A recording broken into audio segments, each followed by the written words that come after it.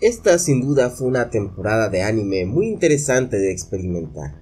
Primera vez que he escuchado que algo hypeado por años se retrasa, ver cómo episodios se posponen, pero más especialmente el lanzamiento del primer anime hecho y derecho basado en un webtoon coreano. Torre de Dios entró a escenas con bombos y platillos, generando cosas como estas en internet. Super hypeando un anime que prometía una revolución por su irregularidad en este mundo. ¿Lo ha logrado? Sobre el tiempo nos lo dirá realmente. Pero si algo es seguro es que se ha convertido en el tema del momento en la comunidad anime global, llegando a competir en popularidad con segundas temporadas ya muy esperadas como por ejemplo la de Kaguya-sama, e incluso topear los rankings de popularidad de personajes en múltiples ocasiones. Algo que es difícil con una producción totalmente nueva y que pareciera venir de ningún lado al no tener un origen nipón. Pero tal vez esa misma carencia de su origen japonés es lo que ha llegado a interpretarse como una nueva era para el mundo del anime, ya que con la nueva oleada de webtoons que se aproximan, dígase The God of High School y Noblesse, la introducción de la animación para los cómics coreanos cada vez se hace más usual dentro de la comunidad. Y a pesar de que estas obras se les nota la gran influencia de la tipificación narrativa del manga japonés, hay cierto algo que a pesar de que sientes que es solo un anime más, inconscientemente puedes saber que es diferente a lo que usualmente vemos en el estándar de animación nipón actual.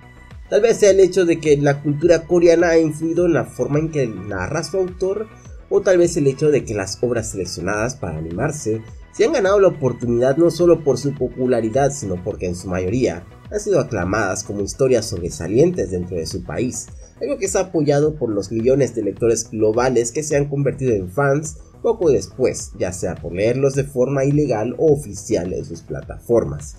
Sea como sea, yo sigo manteniendo mi argumento de que el anime sigue en decadencia, algo que había expuesto hace un tiempo en este análisis, y que pasado un par de años mi punto más bien se ha intensificado dándome cada vez más la razón.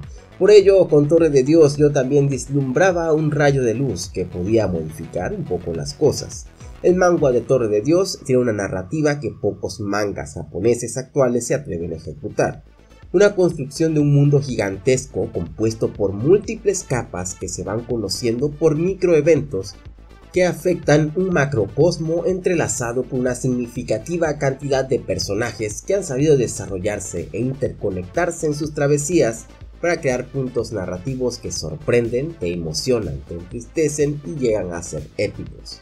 De saber que una historia de este tipo llegaría a animarse, hacía que mi ideal forma de pensar demostraría a los animadores japoneses de que la narrativa coreana es atrevida y ha logrado colarse con éxito, y puede amenazar el status quo de mediocridad que tanto han querido mantener, impulsándolos a retomar esas épocas doradas de creatividad donde remarcaban obras complejas como Neon Genesis Evangelion, creaban dramas más reales y entretenidos como Game Chicken, u obras épicas y más fáciles de seguir como Trigon cosas que para el día de hoy cualquier casa animadora la vería como un riesgo que no pueden asumir si no les asegura lo que los motiva actualmente, generar dinero.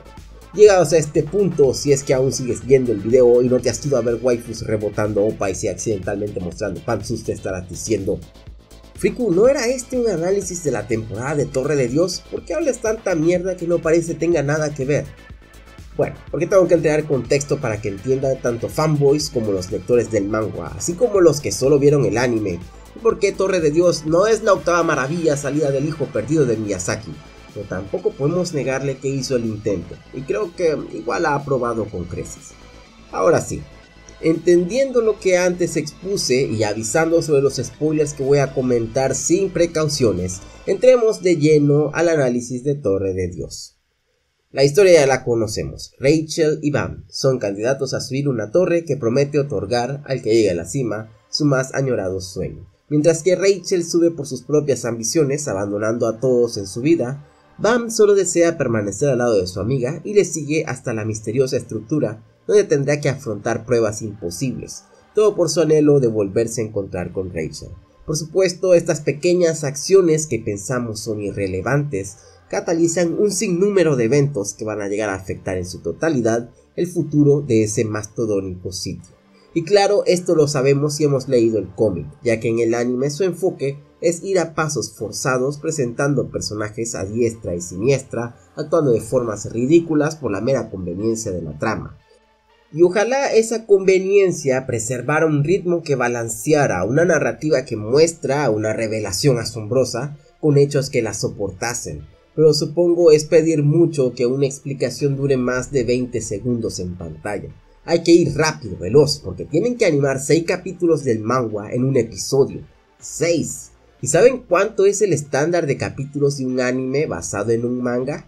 Son de 2 y máximo 3. Y hablo de mangas que no son tanto diálogo, dígase Naruto o Bleach. Torre de Dios va generando una expectativa en su historia, enfocándose a sorprender al espectador con picos de emoción que van surgiendo después de explicar detalles sutiles y construir un mundo lógico que nos pueden hacer asumir la respuesta previa a dárnoslo. Creo que ese es su mayor fuerte y el hecho de por qué tantos fans aprecian y se sumergen en el mundo de la torre y se encariñan tantos con sus personajes que cada uno forma una pequeña parte fundamental para girar un engranaje de una trama global de grandes proporciones. Pero por supuesto, estoy hablando del manga, no del anime. El anime lleva un ritmo desordenado que disuelve toda posible oportunidad de enfocarnos en algún personaje de apoyo y ni hablar que cuando quisiéramos que nos explicasen algún término te tiran una definición de diccionario y te dejan todas sus implicaciones a tu imaginación. Y a ver, es que miremos un par de secuencias que resumen toda la obra. Primero aparece una chica de la realeza que nos da un arma super especial solo porque le caímos bien. Luego un chico dotado de inteligencia, le caímos bien porque superficialmente se siente identificado, porque ambos tenían amigas con las que se han separado. De pronto, secuencias de entrenamiento en posiciones que realmente no entendemos, con una energía que nos explican muy rápidamente. Y luego pruebas tras pruebas que parecieran su único objetivo es ir eliminando a todos poco a poco. Todos los candidatos, porque nunca parecieran terminar y dejarlos subir al siguiente nivel. No jodas, Hanson, si es que el piso de las pruebas, pero es que ya van una, dos, tres, cuatro, cinco, seis, seis pruebas y aún así no los dejas ir al tercer piso. ¿Cuántas más hacen falta? Y entre medio de cada una de esas secuencias, diálogos que parecieran nos tiran al aire, ya que no los vamos a poder comprender totalmente. Quisiéramos, pero es que los episodios no nos entregan el suficiente trasfondo para comprender quiénes son estas personas, por qué sienten lo que sienten y hacen lo que hacen. Sí, hay una entrevista con su productor y director, que te dicen, hey, tienen que leer tanto el manga y el anime para comprender todo. Pero es que si han hecho una adaptación a anime, es porque él mismo se tiene que soportar por su forma en que se sobrelleva. No tenemos que ir a un material adicional para poder entenderlo. Porque veamos el enfoque que le dieron en el anime a lo que es su ambientación, uno de los puntos más importantes que siempre se detalla en el manga. La torre nos llegan a decir que es un mundo vasto en donde muchos viven de forma cotidiana y otros son seleccionados en hacer pruebas. Pero, ¿cómo es vivir dentro de la torre? ¿Qué tienes que tener para ser seleccionado para subir? Sabemos que hay un rey, pero ¿cómo hace para gobernar todo esto? ¿Por qué Yuri siendo princesa se le hace difícil llegar a donde está Bam? ¿Y por qué está obsesionada en recuperar un arma que fácilmente le entregó a un desconocido en un momento? Además de esto, hay tantos términos que solo nos los mencionan de pasada, pero juegan un peso importantísimo en la trama, que son realmente los rankers. Si han llegado a la cima y han obtenido su mayor anhelo, ¿por qué tienen trabajos de supervisores como si fueran niñeros? ¿Qué es un administrador, un guardián de piso? ¿Y por qué la diferencia si parecieran tener la misma función? Y ok, acá me dejo de hacer el tonto, en realidad todo eso que pregunté ya me sé la respuesta, pero adivinen por qué. No porque el anime me lo comentó, me lo explicó, sino porque leí el manga, el cual se toma su tiempo para irte explicando su mundo. El anime te da una definición de tres frases y esperas que puedas unir todo lo demás para que conectes por ti mismo el montón de puntos que te tiran sin contexto en pos de hacer que la trama se mueva más rápido.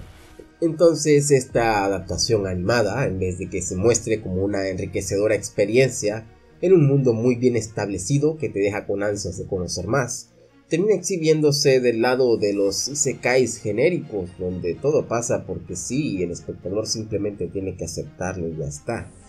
Tal vez lo que el anime mejor ha hecho fue con sus personajes principales, Kun llega a darle esa sazón a toda la trama. Sus estrategias nunca pecan de aburridas y la expectativa de saber hasta dónde ha llegado el tipo a analizar la situación para salir victorioso te termina enganchando en espera de saber más. Rack es la mascota, es imposible no querer este tipo. Y Rachel, a pesar de tener poco tiempo de exposición, su último capítulo analiza perfectamente el por qué un personaje que es tan despreciable por su egocentrismo e hipocresía puede generar tanta empatía.